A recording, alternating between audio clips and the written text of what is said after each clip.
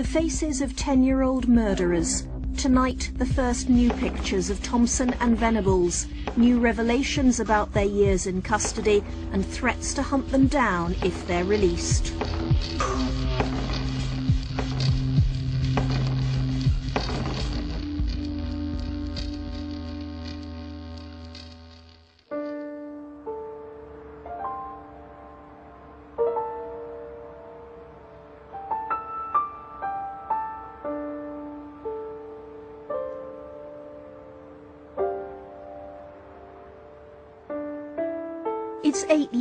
Since two 10-year-old boys murdered James Bulger. The anger is still there. I am fully and utterly in favour of doing anything to keep those lunatics, those evil, wicked, vile people into prison, Thompson and Venables.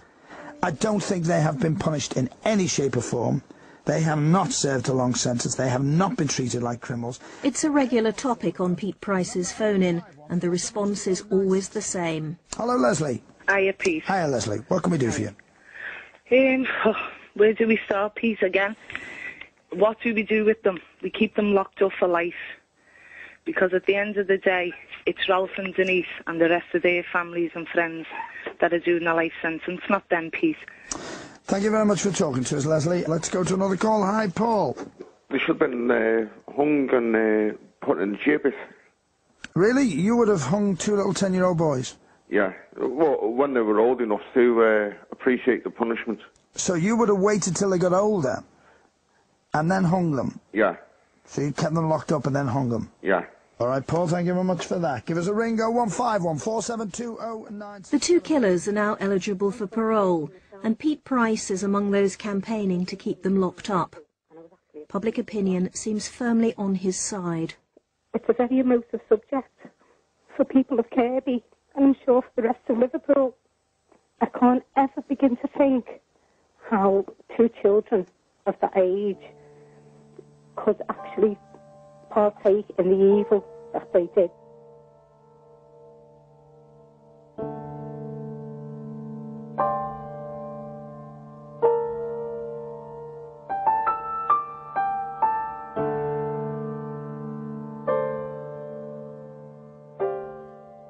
Pictures of Robert Thompson and Jon Venables have never been seen before.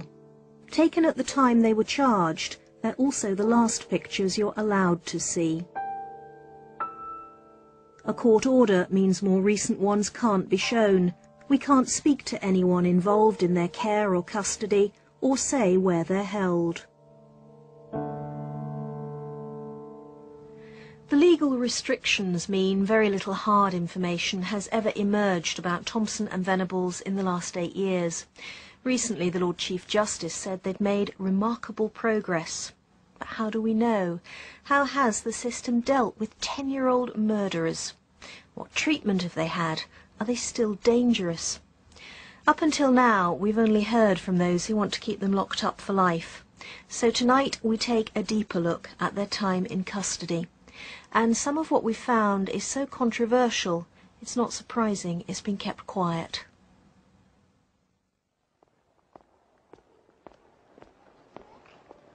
The secrecy is in stark contrast to the very public way this case unfolded.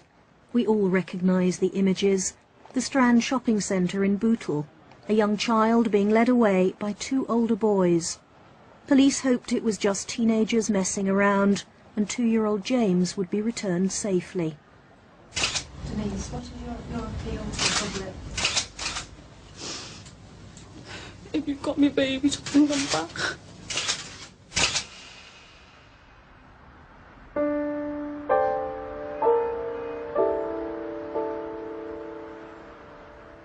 For two days, the hunt for James dominated the news, and it seemed the whole country shared the Bulger's anguish. Then a group of boys playing on the railway line found a child's body. James had been cut in half by a train. Well, it was fairly obvious that from the pattern of injuries that he hadn't been killed by the train. I mean, he'd been run over by the train, but he had a, a lot of head injuries, so it was we weren't dealing with a train death. So tell me what, what the post-mortem established then about the injuries. The post-mortem showed that he had a lot of what are called split wounds or lacerations, mainly to his head, which were the result of being struck heavy blows with the bricks and the iron bar that were found at the scene. A two-year-old battered to death, apparently by other children, it seemed impossible to believe. Over the next few days, about 60 youngsters were questioned. Then police were tipped off about two younger boys truanting from school when James went missing. So when they said 10 year old boys, you think, oh well, it's got to be done. Information's come in, so we've got to go and see him and interview him. But you to weren't eliminate expecting him. that, that you know they could possibly be the ones. Oh no, I didn't. I don't think the other detectives did as well. Phil Roberts led the team that arrested Robert Thompson. He lived a few hundred yards from where James's body had been found. Robert came down. He was neat, tidy, clean, ready for school. So I thought, oh, well, I've got to tell him. So I sat him down on the sofa. I went down on my knees, sort of eye to eye contact. Said, Robert, I'm here because of James' murder. He says, yeah, no. She said, but we've been told that you might be involved in it. Then he started sort of panicking, sort of crying, but not crying with tears, just no tears, but crying. He was afraid more than anything.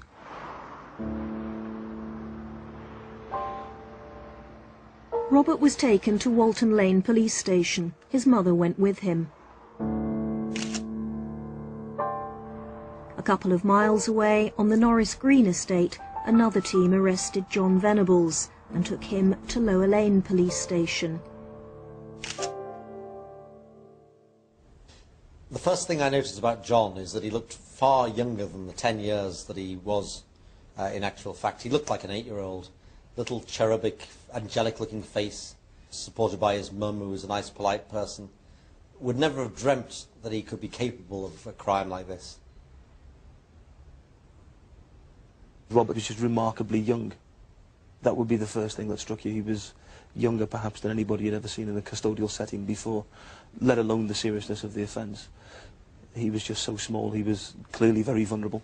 Um, uh, that's the, that's the, the clearest memory I have of it, just seeing someone so small, so young, in amongst so many adults in such a uh, difficult situation.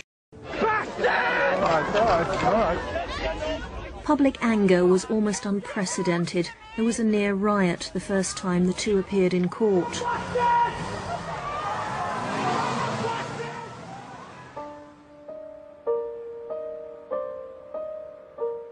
Nine months after the killing, a formal Crown Court trial.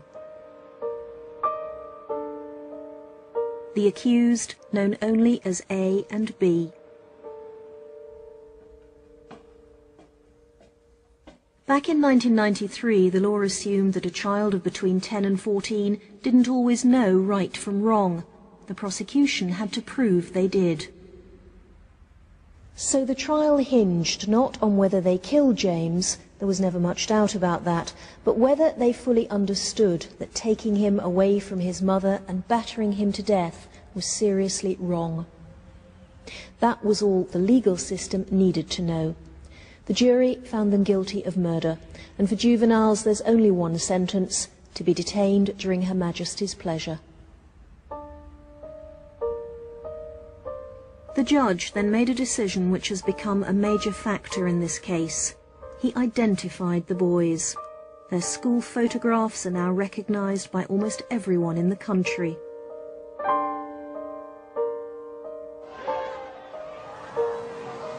But at the same time, the judge ordered that no details of their future in custody could be revealed.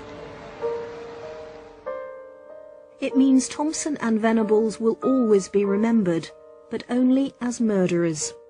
However they've changed, whatever progress they've made, that's been kept secret.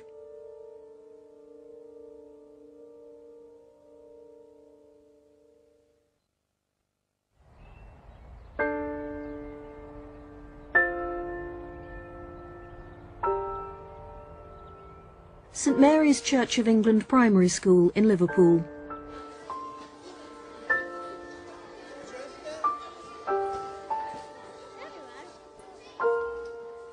Eight months before Jon Venables and Robert Thompson became murderers.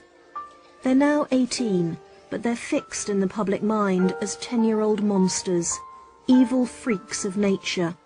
Any other views, especially in Liverpool, tend to stay hidden. I, I didn't look upon Robert as being evil. You know, as in my eyes and what I seen of Robert, he was a normal little boy that got up to mischievous things like every other little boy. Her son was also at St Mary's, one of Robert's few friends. Much of the time, the pair of them truanted. I used to take him to school. I'd put him in one gate and he'd sneak out the other gate without me knowing.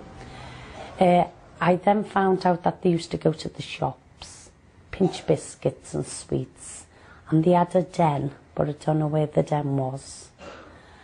And they also played on the railway track.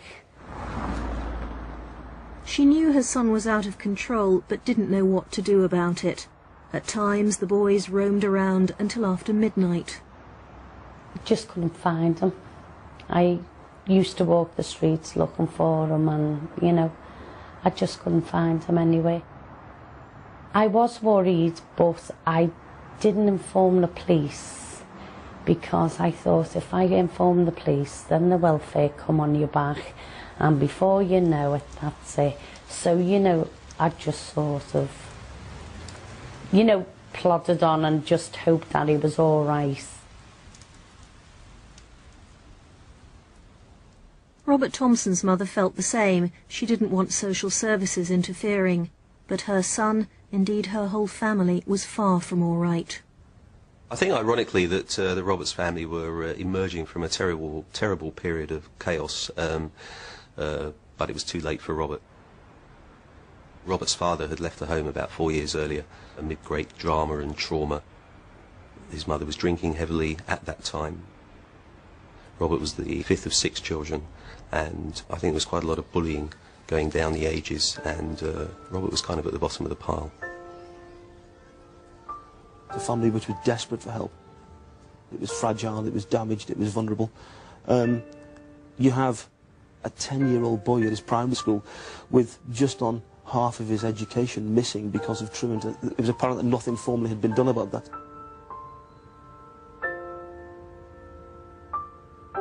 Jon Venables had only joined the school that year. He was moved from Broad Square Junior, where his behaviour had become worse and worse. His teacher said Jon used to revolve along the walls, pulling down work. He'd curl up under a group of desks so no one could reach him. He stuck paper all over his face. He cut himself with scissors and also cut holes in his socks. Finally, he tried to choke another boy with a ruler across his throat. It's always seemed to me that Jon displayed many more signs of being, you know, seriously behaviourally disturbed. He had a, an older brother and a younger sister. They both had learning difficulties, were attending a special school. His parents had quite an unstable relationship. They'd been separated for a while. I think, uh, again, in the months before the murder, they were attempting some kind of reconciliation. Instability is always very difficult for children to deal with. So moving school was seen as giving Jon a fresh start. Instead, it brought him together with Robert Thompson.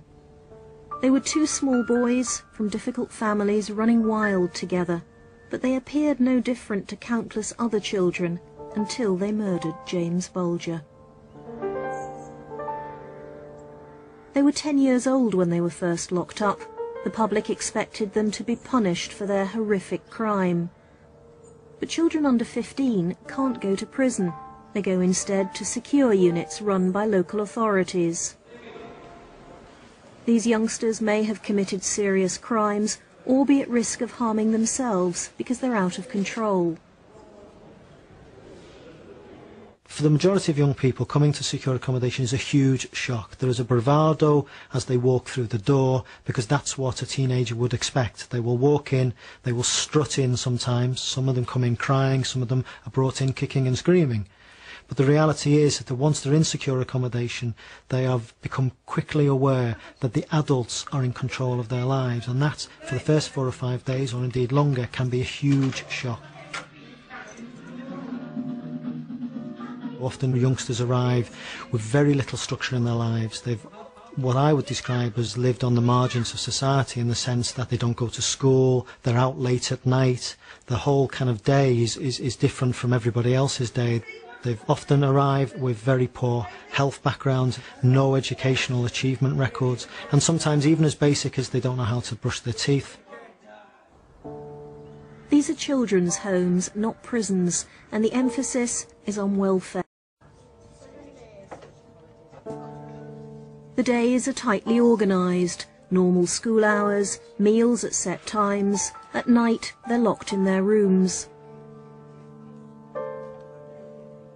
There are also regular sessions with psychiatrists to try and change the attitudes and behaviour which led to them getting into trouble. We've got a system of secure accommodation which is one of the best in Europe. We know we've got effective treatment and we know it works. The outcomes, uh, we can also predict those children who are likely not to benefit and likely to remain at risk in the long term. But for the majority who are amenable to treatment, the outcome is good.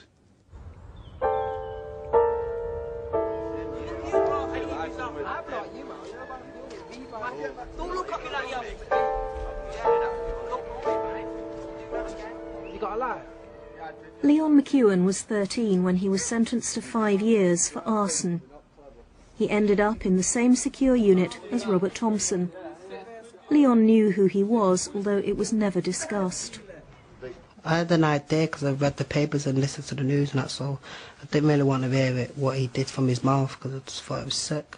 And were you ever there when there were any stories on the news about the killing or? Yeah, uh, like one time we was all just sat there and it come up on the news. I can't remember what it was about. It showed you his picture, and I can remember the staff turned it off and he went like barging into his room and you could hear him like arguing with the staff. I can't remember what he was saying. He was swearing at him and stuff like that. We can't say where Thompson or Venables are held for legal reasons, but they're not in any of the units shown in this programme.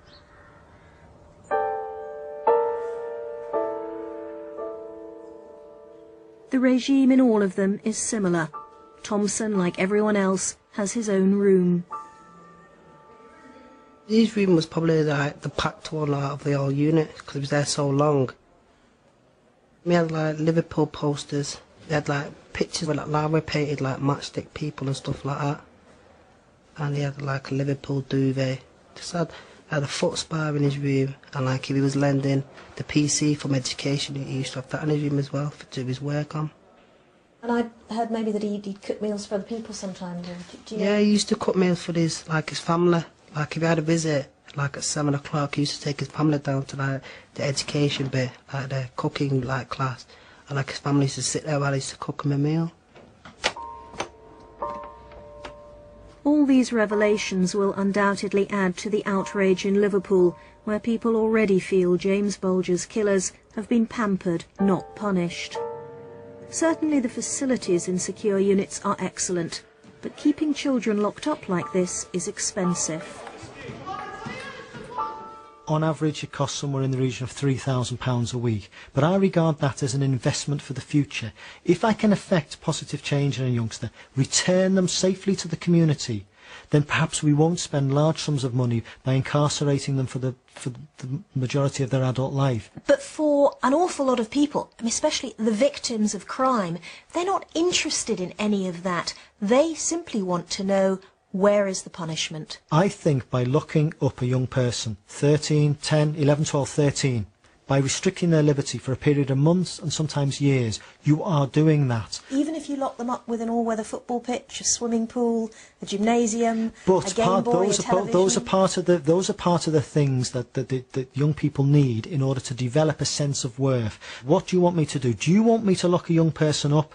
Lock them up in an environment that brutalises them, that actually restricts their liberty in a sense that is negative? Or do you want me to effect positive change so that at the end of the process, young people come out having made progress and change and less likely to commit further offences? So the punishment is being locked up, but even that's not straightforward.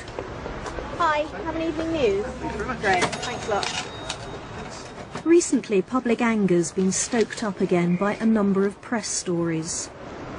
Oh, okay, so this is Venables, and it's saying that he's been released several times from his secure unit with his father to go to Old Trafford.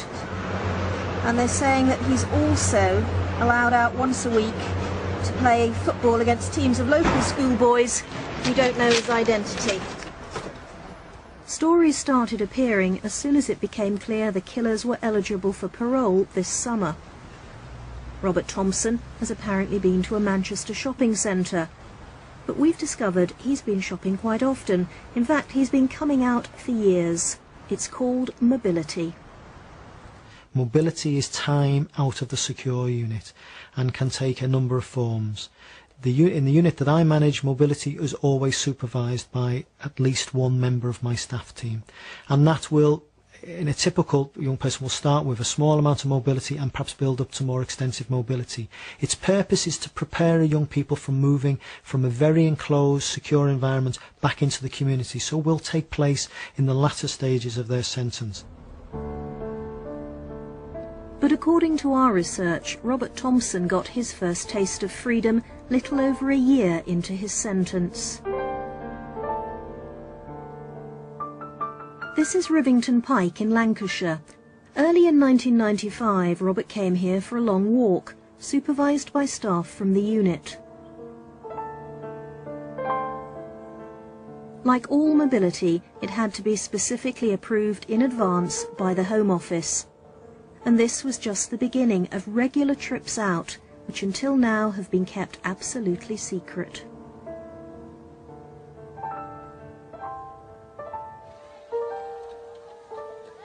In 1996, Robert began monthly visits to a sports centre.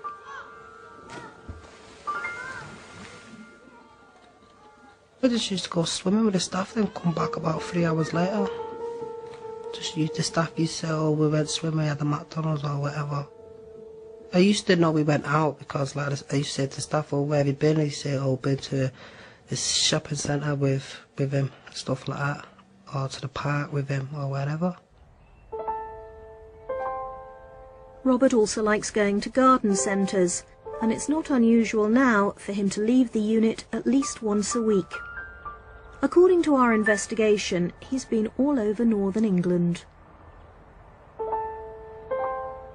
From Sellafield in Cumbria down to Jodrell Bank in Cheshire. He's had days out in Chester and in York. Over the years, Robert Thompson's trips have got longer and further afield, in line with standard policy on mobility. Sometimes it can involve simply starting off with perhaps an hour out of the unit and having a walk in a local park, moving up to perhaps going to uh, following some educational type program where they might go to a local museum to complete work that they've been undertaking education, perhaps to a local shopping centre to buy the clothes that they need from the money that they're allowed. And that's that's about letting them that's about preparing them for a return into the community. It's about promoting independent skills. It's about uh, allowing them just to handle some kind of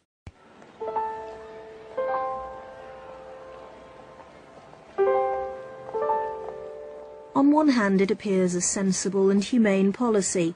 You can't lock children away for all their formative years and expect they'll just slot back into society rehabilitated.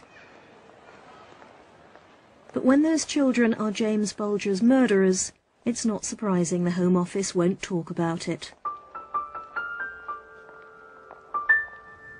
Is there a real sensitivity about discussing mobility? It sounds like the government, the Home Office, They would really rather people didn't talk about this. They really don't want people to know exactly what's going on. Well, I'm sure that the government and the Home Office have uh, very real security concerns when it comes to discussing mobility, particularly the detail of, of mobility in these individual cases. Is it a I, I respect those concerns. Is it a question actually of embarrassment that they really don't want to admit that having locked up young offenders, we do let them out again? I, I don't know what the motivation is, but I think it's, it, it's clear that there are real security concerns. Whether that's the, the prime motivation, I, I can't say.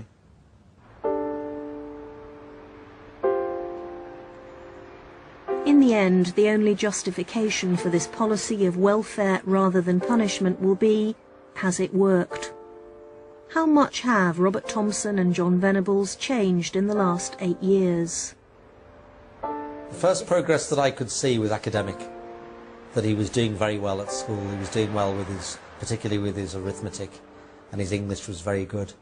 And um, you may say that uh, he was a captive audience, as it were. Didn't have the same distractions as a schoolboy uh, at large um, would have.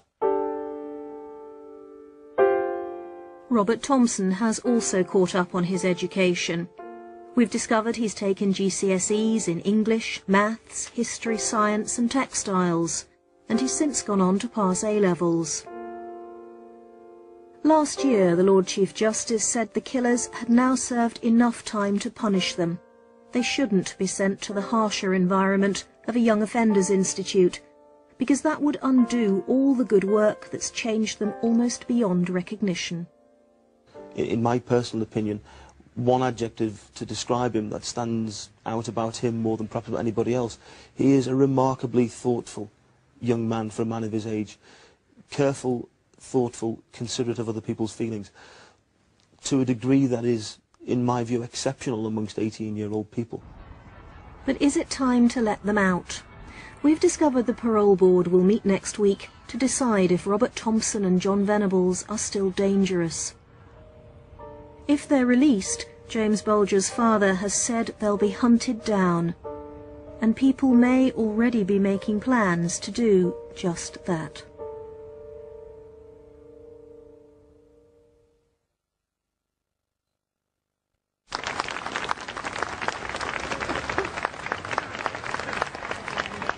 Ladies and gentlemen, thank you once again for coming out. I, I'm angry and I'm here today because I think they're taking the mickey out of us. You're here with children today. DJ Pete Price is among several well-known Merseysiders who support the Justice for James campaign. The aim is to keep Thompson and Venables locked up. Little bits of information are being fed out. How can they say that these two boys have been punished? They have not been punished in any shape or form yet. And that is what is wrong. At the forefront of the campaign, James's mother, Denise. They've always had the backing of the popular press. That's helped by the fact that another organiser, Chris Johnson, runs a news agency in Liverpool. He's also Denise's press agent. Walk a bit slower.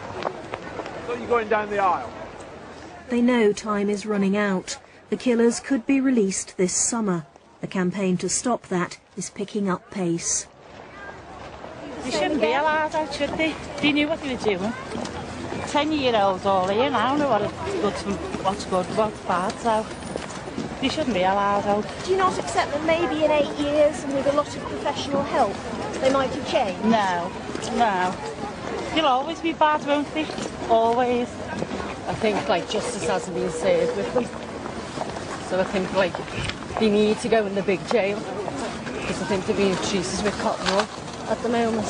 You can't be giving this example that if you go out and horribly murder a child or somebody, then you'll get the education that you should have got anyway, and then you'll get all of these things set up for you in life to make it easy for you. It shouldn't be about them coming out. I think my main concern is that um, they probably could still be a danger, and certainly people who commit evil crimes, at what stage do you believe that they won't reoffend?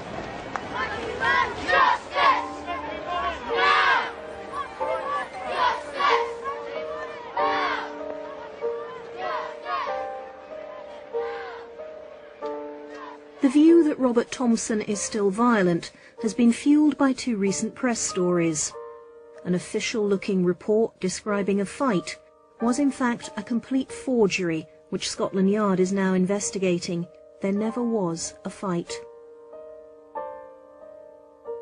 There was a scuffle with another boy, but he turns out to have been a drug addict who provoked the argument and then sold his story to the press.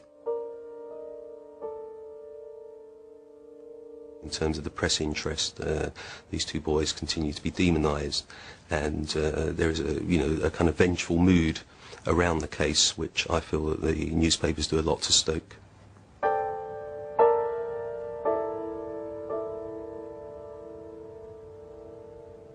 I've always felt that uh, people needed to put those two boys um, out of the frame of human reference that uh, it was so difficult to imagine any child of ours committing such a crime that people had to kind of uh, describe them as evil, to dismiss them almost. Um, and uh, that, you know, there was a need for them to be demonised. It made us feel better. There's always been talk that they mutilated James and sexually abused him. After eight years, those rumours have suddenly been spelled out in the press. The injuries described were absolutely horrific. We checked every detail with the pathologist who did the post-mortem, and none of this is true.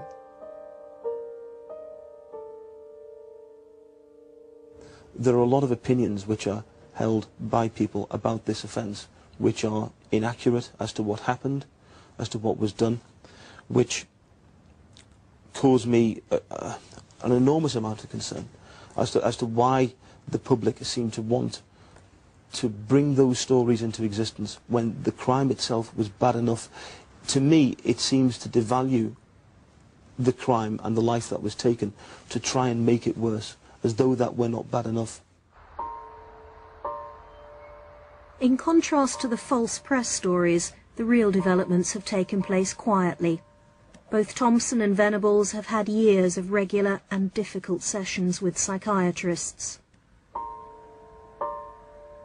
Jon has described having flashbacks where he saw James bleeding on the ground. He's also had nightmares where he dreamed of giving birth to somehow bring James back to life. Two years after the trial, when he'd blamed it all on Robert, Jon Venables admitted his guilt. A serious crime inflicts tremendous hurt and damage on other people, and part of the process is that the young person has to take that on board and acknowledge it, taking on the responsibility for their actions, but most painfully taking on the emotional consequences uh, of their actions. And that's a very difficult and painful thing for anybody. Robert Thompson lost faith with his first psychiatrist and demanded a new doctor. But he wouldn't open up to her until she agreed to an extraordinary deal. She'd only write down minimum details of what he told her. Only then did he also admit killing James. He still wouldn't talk freely because he said it wasn't sorted out in his own head. It was five years after the murder before Robert finally expressed remorse for what he'd done. The psychiatrist's views will carry great weight when Thompson and Venables appear before the parole board next week. There'll also be detailed reports on every aspect of their lives in custody. Is this a particularly difficult case, do you think? Yes. With the extent of the media coverage, it's a real hot potato. And how much is that going to affect their decision? Shouldn't, shouldn't affect it at all. They should concentrate on the evidence they have before them in the dossier and the impression they form of the individual who is making the application before them. And, and what is your brief? I mean, what are you trying to get at? To assess the dangerousness of release. If there is any danger, then we would not be in a position to recommend release. We've got to be satisfied that um, the prisoner can safely rejoin society. Pete Price unzipped. Call now 0151. Safety cuts two ways. Would Thompson and Venables themselves be safe if they were released?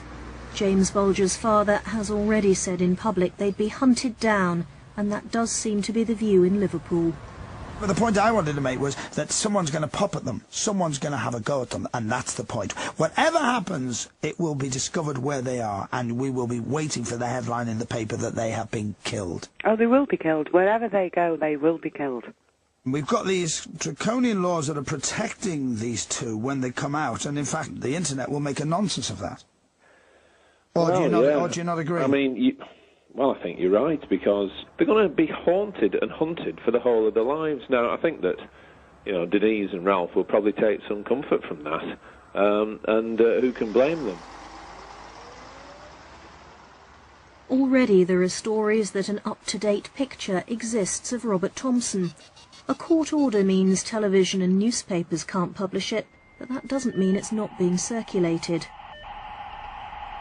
The internet is almost impossible to police. It's not just websites, it's the huge volume of email traffic. Someone connected with the Justice for James campaign has emailed me the photograph. It's a picture of a teenage boy, and either side of it the original schoolboy photos of Thompson and Venables. So is this part of the campaign?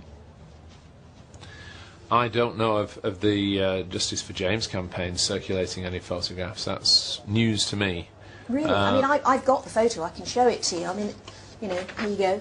This was sent to me by someone from the campaign, and they got it from someone else in the campaign. I mean, this is a dangerous policy, isn't it? I mean, this is incitement That certainly um, is not anything to do with the Justice for James campaign. Um, it's nothing that I know of in terms of it being circulated, certainly officially by anyone in the campaign. Uh, it's not um, official policy. It can't be published. Are you saying that's Um, not something you'd approve of then, circulating Well, it's not for me to approve or, or otherwise. I, I don't. I mean, undoubtedly, people are very angry in, in Kirkby, But I mean, and is and and, and in Liverpool and worldwide. So. I don't know. I don't know what the photograph is, I, and I don't know who circulated it. But lots of people know about it.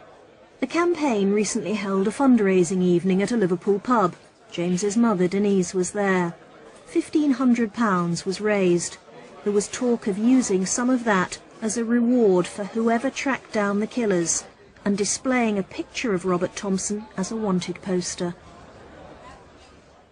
So, I mean, just to clarify, Denise does not want them to be hunted down. She is certainly not encouraging anybody to do that. This Uh, photo is, I, though, I it? think. Well, I don't know anything about that. You've just Mm. shown it to me, so it's it's a mystery to me. Will you be saying to people, look, whatever that photograph is, whether or not it's Thompson, stop circulating it because it's a dangerous thing to start to do? I would have to say to them that they should not circulate it in Britain. Whether they decided that the internet was so big that it couldn't be stopped is a, is a matter for them. I wouldn't seek to tell people what to do. Um, it certainly wouldn't be done by the Justice for James campaign, and it certainly wouldn't be done in this country. If somebody abroad wanted to do it, then we couldn't stop them.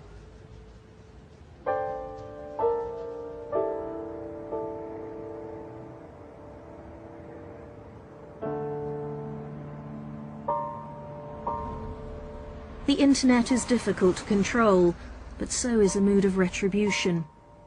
We've discovered other teenagers in custody have already been mistaken for the Bulger killers and beaten up. And a woman in Wales was mistaken for one of their mothers. People threatened to firebomb her home. But is the picture Robert Thompson? Leon spent two years locked up with him. So, have a look at that. Is that him? Could be. The eyes and the eyebrows are like his, but it's not that clear. Just the face. You can't be certain. No. Is that because of the quality of the photograph, or, yeah, or what? can't really see the face more, but the face looks a bit like him, but it's just the body as well. But you can't be 100% No. certain.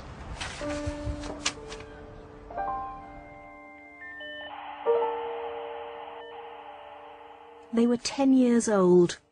James Bulger would be the same age now, if they hadn't killed him. Whether his parents can ever forgive, only they can decide. The issue for the legal system is so much simpler. If Thompson and Venables are safe to be released, then it's time to let them out. I'd like to see Roberts again, you know, and ask, like, you know, I'd like to ask him why and what went wrong and, you know, could he have come to me and told me what he was doing and, you know, I'd talk to Roberts. I wouldn't sort of tell him to go away because there's a reason for everything, isn't there?